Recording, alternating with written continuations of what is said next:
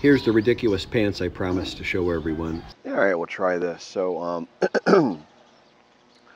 um, I kind of wanted to talk a little bit about uh, when is the right time. When are you kind of well? First off, two separate questions. When when is the right time to retire or move to Thailand, and then when are you ready? Um, and the right time to come here, I think, is dependent upon two the two biggest things would be one when you've wrapped up your your family obligations back home. So the age of your children, maybe a parent that you're caring for, you know, things like that. Um, I do see a lot of guys come here and they haven't wrapped up the uh, the children issue. They're they've still got kids that are younger that, that, that maybe need them, whatever. But there's an issue, and a lot of guys come here and their kids cut them off. That's uh, very common. Very, I would I would say it's so far in my limited you know experience. I would say it would it would it would sound odd to me that someone says, "Oh yeah, they're they're, they're talking to their kids every day. It's all cool." Like you'd have to expect expect to lose some kind of significant contact with your kids, uh, all of them or at least some of them. Uh, I think it doesn't look good, to be honest, that you've sold your stuff and come to Thailand. Thailand's got a reputation that's not undeserved. And uh, they're going to think you're some sex crazed old man or something or something like that, you know.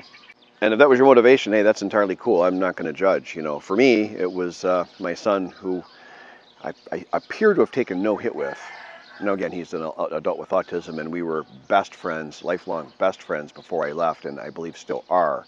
Um, but uh, yeah, I, I, you know, my my uh, ostensibly legitimate reasons for for coming here. You know, um, I literally can't afford health care in my home country of the United States. It's it's U.S. healthcare is tied to your job, and I am unable to work. So you're out. You're done. That's it. That's all it's got to take. As soon as you can't work, you're out. Uh, if you get some kind of good insurance or something provided to you, which I have coming, just haven't gotten yet, then okay, you know, maybe. And it will give me an option to live back home. And I was kind of starting to talk about yesterday, and I, I, I didn't finish the thought, but, you know, I'd be looking at pretty close to two grand a month for health insurance for me. And that would chew up about half of my, you know, budget or something along those lines, give or take. So it would just, it would just cream me. It would just absolutely kill me. But you know, uh, I could live with my son. Uh, we have a very affordable apartment. We're in a great, great spot. There's a long line to get in, but we're in, we're at the top of the line. He lives there now in a one bedroom. The two bedrooms coming up. We're in, like next on the list. So, and I trust the guy that owns and runs it. He's a uh, one riot, one ranger kind of guy. He runs the whole thing, runs it with an iron fist, but a very nice guy. And he's he's uh, an old school, honorable person. So uh, I'm, I'm, not worried at all. I know we got an apartment coming. Um, so yeah, I could do that, and that's kind of my plan is to do two months there and ten months here. And the reason for that is, is I can't abandon my son because of his autism, because of some of the mind games other people maybe around him might be willing to and, and continuing to play. Um, you know, that kind of thing. I, I don't want to leave him to the wolves, so to speak. So, my words, my opinion. Maybe I'm wrong, but I doubt it. So, so the first thing is your kids. So, you know, if you've got young kids, you got to pre- be prepared to really pay the full price on that if you if you come here too soon. The, the second big factor is your money. Obviously, you need to be able to earn a living or support yourself in some way. I don't know anything about work visas, okay? So that's going to have to be another channel or talk to other people for that. The only thing I can tell you is a lot of people work um, and don't declare it through the government. If you're doing internet, electronic, digital type work, it's very hard for people to know that you're doing that on your computer and not just surfing on YouTube or something. So, but it is very important. Please hear me on this. You cannot let people know what you're doing. Um, someone can turn you in. And jealousy is a big thing here. Think about it. And the average Thai makes like, if you're in the Isan region where I'm at, your average Thai makes probably 5,000 baht a month, 6,000, 7,000 baht a month. Getting over 10 is getting into where you're doing better. And getting over 15 is getting more rare, okay? Um, you can do the math. It's 34 baht to the dollar right now, so it's not a lot of money. And if you're pulling down, you know, 80 grand a year U.S., sitting at the Starbucks, and you're making a big thing of it, if you do that, you've got pretty good odds of being deported. And I don't know under what circumstances they deport you, but I'll bet it involves seizing your money. I don't know that. That's just a guess, but I'll bet that's true. But whatever it is, I'm sure it's unpleasant. So um, I wouldn't do that. But you can. And, and I know a lot of people that make a lot of money, uh, but they don't talk about it and they don't flaunt it. So, but otherwise, work visas are, are, are I, I, hear it's very difficult to get one. I hear it's very, very difficult. You've got to prove unique skills. It's super easy to get one if you want to come here and teach English. And to teach English, you don't have to be an English teacher. You just got to show some kind of college degree or maybe even just college experience. And if you have college experience, you could probably go online and get some, you know, phony baloney, uh, uh, to try to not swear when I don't really need to, uh, phony baloney uh, uh, certificate saying you completed your college. It, it, it takes almost nothing, is, you know, uh, and if you speak a teeny, teeny bit of Thai, goes a long way. I've been attempted to be recruited a number of times because um, again, for compared for most expats, I'm, I'm I can I can easily brag and say I'm in the top one percent of, of uh, expats for speaking Thai, uh, but that still means my Thai sucks. Okay, just so we're all clear. Um, it's an it's an incredibly difficult language, and and one of the things that makes it so difficult, just to finish that point, is how they speak it. They they really speak their own language varies by dialect, by region, by frickin' street practically, and the patterns are, and they speak short Thai, and it's colloquial, heavily accented, regional, short form Thai. There's like, it's like seven layer Mexican dip of language. You know, you've got this, and you got to modify for that, and then that, and then that. And sometimes you'll hear me and Yusani pronounce a word differently, and most of the time I'm just wrong. 90% of the time, I'm, I'm, I'm, just wrong, you know. I've been speaking Thai from day one for, for about three years, and with any level of knowing what the hell I'm talking about, maybe only, you know, a year and a half. And, but sometimes I'm right for my region. And I live a half hour from her. Let that soak in, please.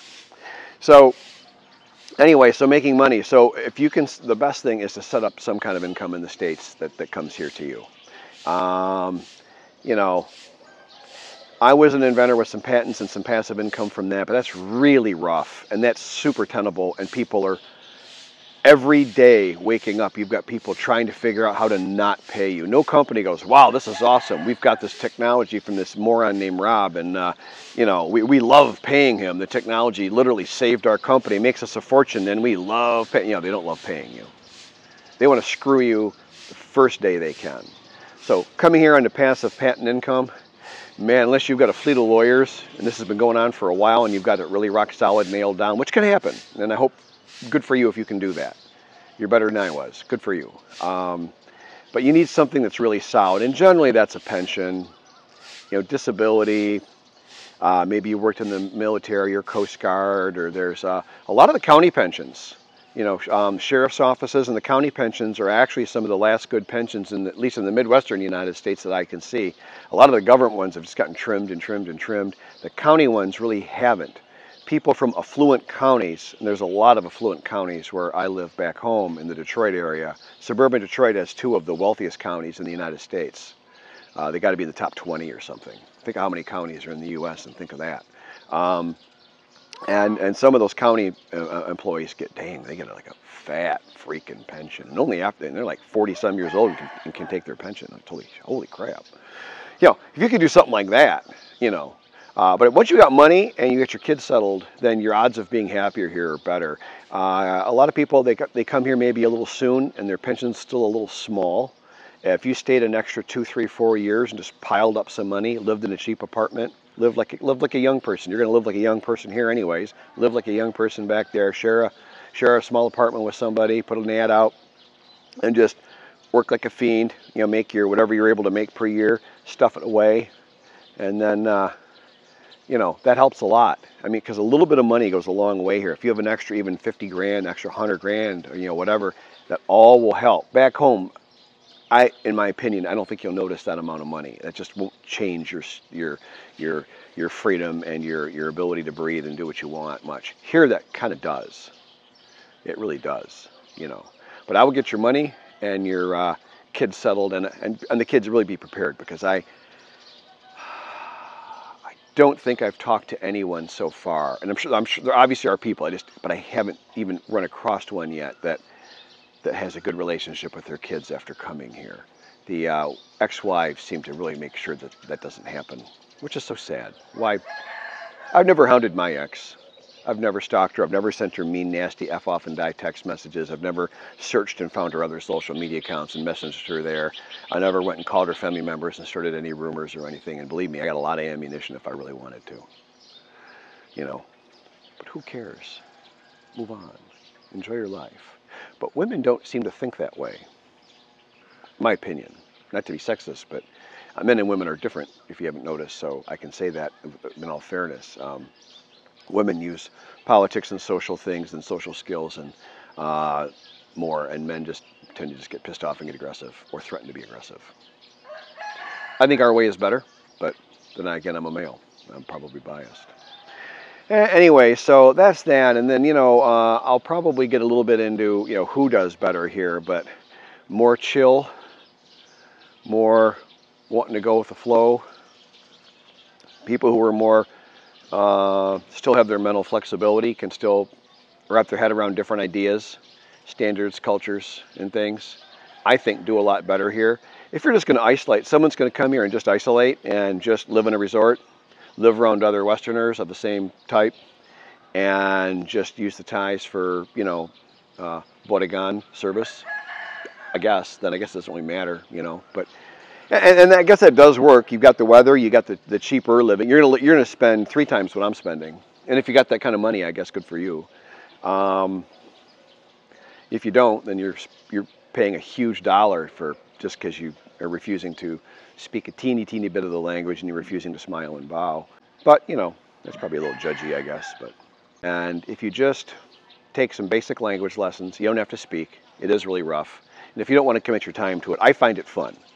But if you're not really interested in where you'd want to commit your time to learning the language, and if you're not going to want to, I wouldn't. You probably don't want to make yourself right. It's going to be miserable if you're like really like like a, like a, just a non-language guy, 100% or something. Uh, you know, maybe not consider not coming to Thailand in that case, but. Uh, you know, I would prepare though. I would prepare by reading up everything you can on the culture. If you just get along and smile and bow and, and try to be at least a little bit more humble, and that includes body language and, and posture and stuff, because we are considered big and scary to them. And when you threaten them, you're not, I think maybe you're not really scaring them, you're just making them think, have a need to go call nine friends if you don't behave yourself. I've never heard of an expat winning a fight in Thailand. I'm sure it's happened, but I, I, every time there's a fight, the expat has lost. Like I, I can tell you honestly, I've never heard of a successful outcome for the expat.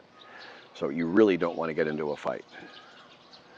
And I say that as a guy that misses it and used to really like fighting. I used to really love it, and I was good at it. And uh, I, I, still miss it in a way, and not in a, not in a mean way, not to hurt somebody, but I, I liked competition and stuff, and sparring, and and, and getting better. I, I love that. You know. Uh, but anyways, uh, yeah, if you can just be a little more adaptable, a little more flexible, quieter I'm still working on quieting down my big construction voice. And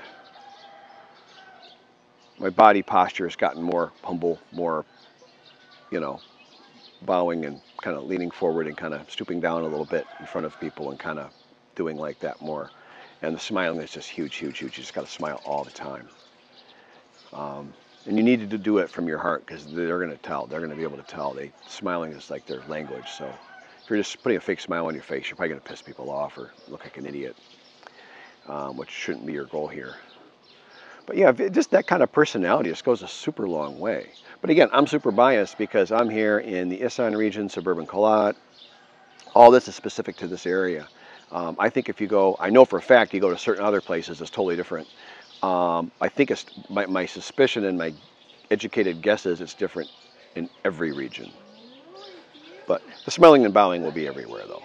So you'll just have a much lower requirement of it if you're in a tourist area because the Thais probably just have given up on the expats there and just think of you as a, as a wallet, which I can't blame them. All right, that's it. That's who would do well here.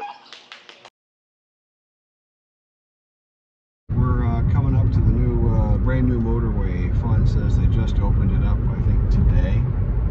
Um, there's my professional driver. Um, I'm gonna turn the camera around here in a second. We're getting onto um, uh, elevated. That's that the old highway, right? To Nongao. Yeah, it's the old highway there. Uh, so we're gonna come onto an elevated part, which will probably be uh, nice looking. There we go. Now you can kind of see the river a little bit. Uh, river Chile. Lake Lam Lake Lam or something maybe. Okay, cool. No, thank you for supporting my YouTube channel. Thank you very much.